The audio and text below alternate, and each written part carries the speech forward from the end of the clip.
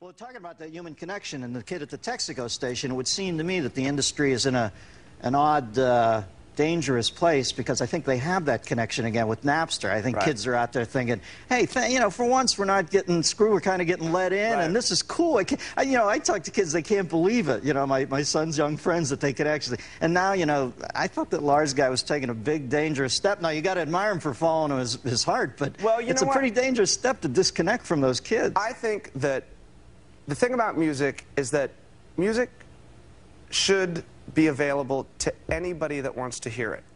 I think that that there should be no such thing as a price tag on music.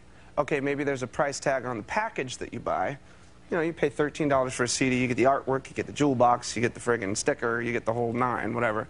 But I don't want to turn on my fucking radio and have to put a nickel in it to hear Metallica.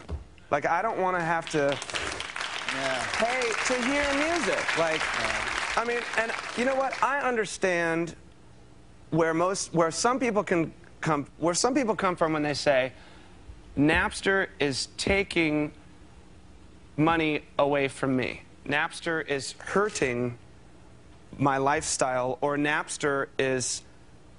I don't have food in my refrigerator because Napster's got my song all over the internet. No one will buy my demo tape. But you know what?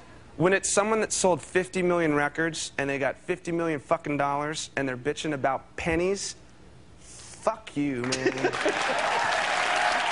There you go. you know, and, and I mean, I'm, I'm fortunate. Like, I'm, I am lucky enough, I am fortunate enough to have been in a band or two that actually make a living, you know? So, Huh? See? thank you very much. Now listen, I can tell you, I can tell you, I I don't see you drumming as much now, but I can tell you they have, still have the drum chops because every time you make a salient point, you hit that bass pedal. They're flams, dude.